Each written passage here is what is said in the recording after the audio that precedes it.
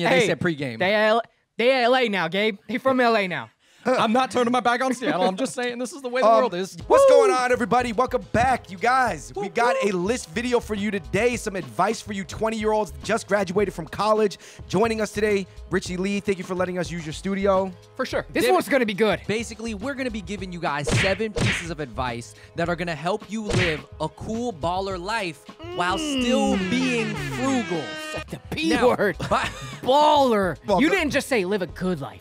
There's there's a No, difference. no, He said baller. We know a lot of people, they want to live cool lives, they want cool things, but you know what? There's a way to do it while still doing it on a budget. we me and Andrew have been watching you know some of those success channels Mm-hmm. and a lot of them really criticize the a lot of behaviors of young 20 year olds right whether that's buying starbucks buying name brands and they're just like you know what don't do any of that save it up you know get buy income streams don't it's not that black and white. You can't just eliminate your bad habits. Right. You gotta be a little bit human. these are success tips for kids in their young 20s that are kind of like they like consumerism Kind of like a uh, baller life hacks. And if you guys are excited to hear these seven points, make sure to hit that like button, click subscribe, and turn on your notifications. Let's go.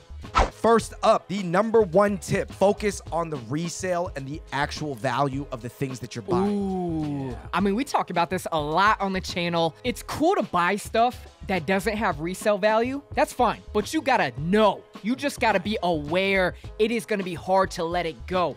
So I like this one because if ever you needed cash for something you bought, buy things that are easy to flip. You're gonna find a buyer right away. Right. Just be aware of that. Low Now- transaction cost. What are these things? Are they generally usually the better brands of things? No, no, no, no. things? I would not even say it's a better brand thing. It's it's a really case by case item thing. Because Okay. just because Louis Vuitton, quote unquote, may be a better brand than you know a Nike sweatshirt, that Nike sweatshirt will be easier to flip than a Louis Vuitton sweatshirt. Using Louis Vuitton as an example, the Louis Vuitton monogram bags, you can flip that in about 10 minutes if you want, right? Because so many people want that particular That's a bag. classic. I, th- I think the biggest example that I give to people, and they can make it applicable throughout sneakers and clothing, is iPhones. iPhones, it doesn't matter. Even if you're rocking an iPhone 3, there is still cash value in an old iPhone. Okay, yes. You know what I mean? Like iPhone, Apple products are essentially almost like a commodity. Maybe it's not to the level of like a gold bar, but it, it's the closest thing I've ever seen to a gold bar as an electronic that we- theoretically has depreciation. Hey, value. I know people make arguments that other brands are definitely better than certain Apple products, and I, that's totally fine. Yeah, yeah, you but hear if that. you buy AirPods, you can actually resell those AirPods. If you buy a MacBook, you can resell that MacBook pretty in easily. 10 minutes. easily. If you are buying an Android, I would just like people to be aware you're buying it more for personal reasons and uh, not because you can Right. You, easily you, sell it. you like the customizability or something like yeah, that. which is fine, but just be aware. When you buy sneakers, Richie, do, is it kind of like buying cars? Is there some Oh yeah, relation? There's like, a do you huge think, comparison. Do you think about I it the same at- way? Oh yeah, for sure. Even from like the uh, aspect of like driving a car off the lot versus unds a pair of sneakers, same concept. You're Right. paying for it. We were talking about this earlier. It's kind of like you rather have five pairs of Union ones rather than maybe a pair of Yeezy 2s. You know what I mean? Because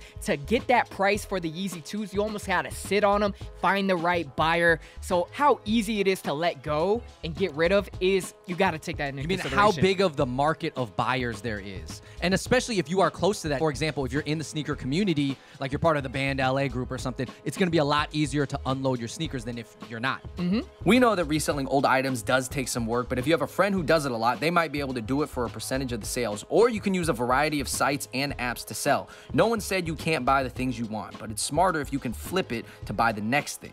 How do you know if it has resale value? Just do some quick research. Certain brands and specifically certain pieces have a much higher demand and resale value than others. Basically, buying that one premium item you really want could potentially be worth it, but only if you do your due diligence. Basically, if you want cool clothes, you probably can afford it, but only if you flip it. Number two, guys, a big concept I want you guys to understand is cost of usage. So, for example, if I bought something, whether it's a shirt, a sneaker, a gadget for $1,000, I sell it for $700 at the end of its life, but I used it 300 times in that time. So, think about it. That's a 1000 minus 700, that's $300. I use this 100, uh, 300 times.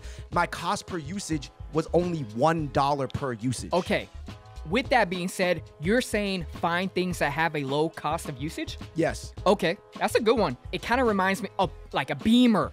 huge, huge cost of usage Right. compared to a Honda. Yeah, But exactly. you might, well, you're not getting the same points with the Honda from a Beamer, but that's what you're paying for. You're paying for a high cost of usage. Each mile on a Beamer costs way more. You're losing way more than a mile in a Honda. Nike Yeezys, there's a high cost of usage. Sometimes when I like wear a pair, I'm like, ooh, this is hundred dollars right here, one wear. Rich, isn't that why boats are not a good idea? They say uh, the best days of a boat owner are the day you buy and the ba- day you sell. Spend money on the things you use every day and cut back on the things you don't. The more you use something, the more it's worth, based off the usage equation of depreciation over usage rate.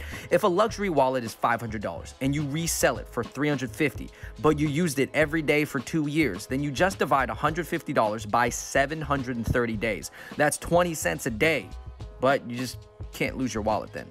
So for cars, just look at the cost of ownership. BMWs are super expensive because they lose a lot of value quickly and are expensive to repair. Toyotas and Hondas have a very low cost due to durability and resale value. However, the BMW might make you feel extra special, so you'll need to determine your priorities. Number three, guys, pre-game before the club. Oh, But pre-game and but pre-gaming can be applicable to anything pre-game before you get to the airport. I You know, gotta ask real quick. Do you guys say pre-funk or pre-game? Because uh, in Seattle they say pre-funk. I, have seen. I've heard. I knew I we, grew, we grew up saying pre-funk, but uh, when I got to they- California, they hey, said pre-game. They L- they LA now, Gabe. They from LA now. I'm not turning my back on Seattle. I'm just saying this is the way the Um, world is. Listen, a lot of people like to go out, and maybe if you're especially the, in their 20s, that's a huge like just money goes into the for, air, right? and for a lot of people, when they're the first one of their friend group to get the good job, they're picking up the tab a lot. But know that's that that's rough on your wallet. You know who was the first one that gave me this concept? AJ Rafael.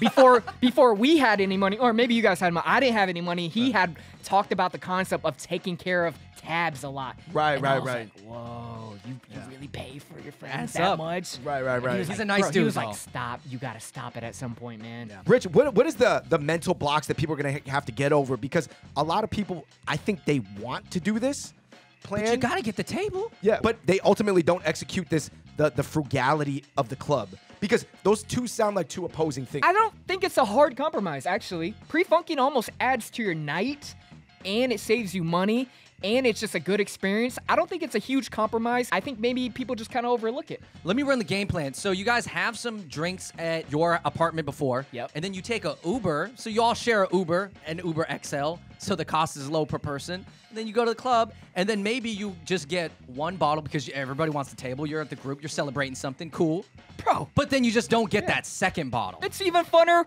being drunk waiting for the first bottle. you don't want to just be standing there sober. The, the the ride to the club drunk is the funnest part.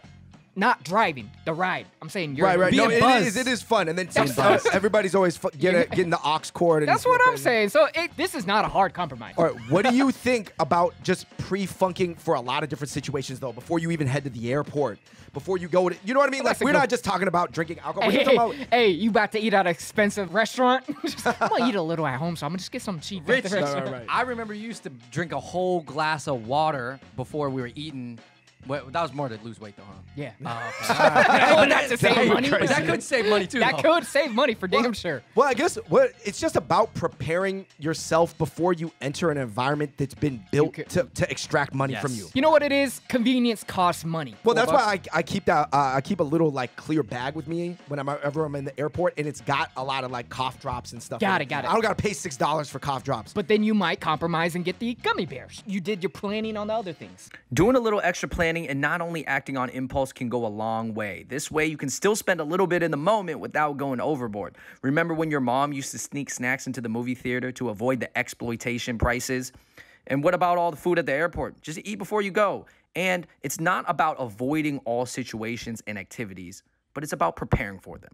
The fourth piece of advice we have for you guys that are just graduating college or you guys are in your 20s is do not be afraid to tap your network. if you need to resell anything, if you need to find a roommate. I think a lot of people are afraid to put it out there nowadays, but that's the reason social media is good too because you have so many connections. And also, mm-hmm. if you're coming straight out of school or whatever organization or education, you're going to know some. Be resourceful. You know what I like to say about this? I think a lot of people like to get their own apartment straight out of college. But I'm like, yo, if you want to live by the city or in the city in your own apartment, that's really expensive. If you find roommates, one, that's a good way of synergy between your two networks. It, it just takes a little bit more legwork and obviously the uh, relationship managing between you and your roommates. But guys, That's part of growing up. You don't have to do it when you guys get older, anyways. It doesn't matter. Your friends and followers can be a great resource nowadays. What's the use of social media if you can't actually connect with people? Being able to put the puzzle pieces together is a skill. Sometimes there isn't even any more work involved, just connecting pre existing systems that weren't aware of each other before.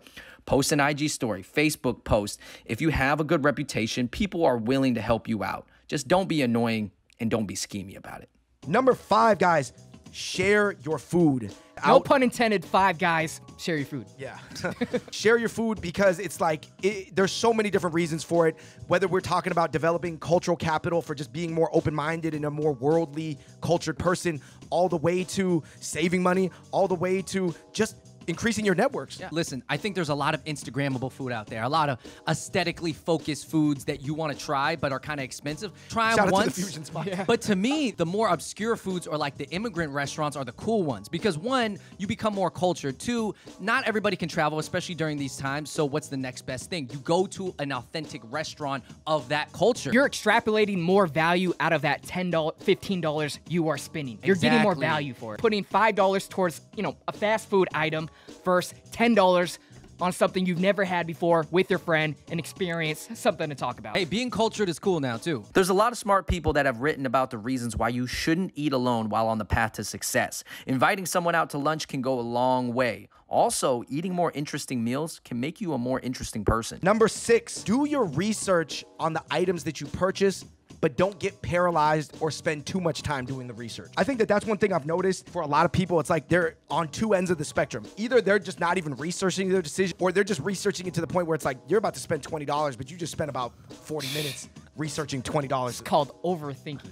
Overthinking can lead you to just not doing anything. Yep. So let's say you spend three days researching something. Oh, what's the best? Blah blah blah. Comparing this and this, and the really the difference is only like fifty to hundred dollars. You just spent three days of your brain power thinking about. People value making quick decisions in sports. You don't have all the time to make your decision in sports. So the quicker you can make your decision, that's valued as a player. I think one of the things, uh, the frameworks that I've developed that's helpful to make reads, guys, for me at least, is the law of thirds. So the law of thirds means the three by three grid. That's nine boxes, and I actually much prefer this way of ranking things rather than zero to ten. Okay. You know, people be like, "Oh, is this what's this thing out of 10? That doesn't really make that much sense to me because everybody like has such a weird scale for stuff. I like to rank things A, B, and C, and then A1, A2, A3, B1, B2, B3. yeah. So that's my preferred ranking scale for life. Three different tiers makes it more clear to where things fall. It's more specific. Yeah. it's more specific because you have your high end, your middle end, and your low end. This is like a uh, internet concept with Netflix. Spend two hours,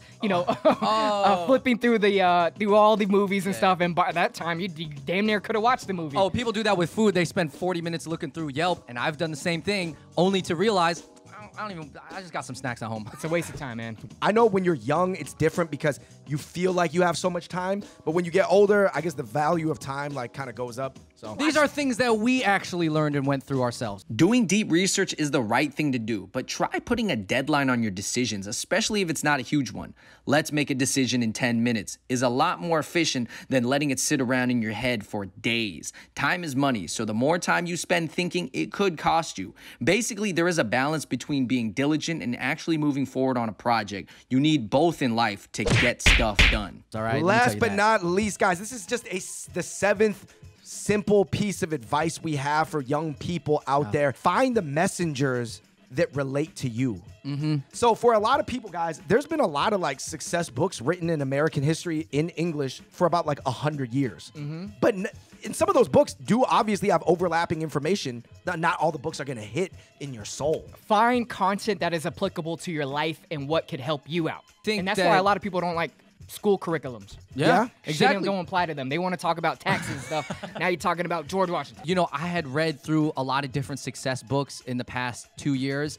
And I couldn't even finish some of them because I just didn't connect with the person and their story. But I'm not gonna lie, and this is a little plug for 50 Cent's "Hustle Smarter, Hustle Harder" book. Like I thought that really connected because I we followed 50 Cent's Yeah. career, and so he brings up people and stories that are relevant. That I'm like, oh, I know who Lloyd Banks is, blah blah blah. You know, and so anything he said just made more sense to me. Now more so than ever, you could find advice from someone that is really catered towards your life and situation. Sometimes two different people will tell you the exact same thing, but because somebody resonated with your soul and you relate to them, Instagram. You actually absorb the information way more. So I do recommend following industry verified people with real accolades. So, you guys, those are just some seven quick tips for Man, you those are good. Those are yeah, good. That, Yeah. that, uh, you know, just add value to your life and go over all the seven taglines real quick. Number one, resell your old items. Number two, look at the true usage value of something. Number three, pregame for life and not only the club. Number four, don't be scared to tap your network. Number five, don't eat alone and don't eat boring. Number six, do your research but don't get analysis paralysis. And number seven, the messenger matters. Find mentors that resonate with you. I think you guys out there, if you guys are just graduating college, follow all these, look into them. I feel like these are things that we all went through, and I'm not saying I've mastered 100% of it, but they're all relevant, and I think about them time to time. So we really hope it was helpful, and we're not claiming these tips will make you a millionaire, but these are ways to still enjoy life while being responsible and thinking about the future. Let us know what some of your tips are in the comments down below. Thank you so much for watching. Give us a huge like, subscribe, turn on your notifications. Until next time, we out. Peace. Shout out to the, you know, Graham Stephans and all that stuff like that. But I think a lot of people are not trying to give up Starbucks. If you find those success tips a little bit too extreme, I think you're gonna like this video.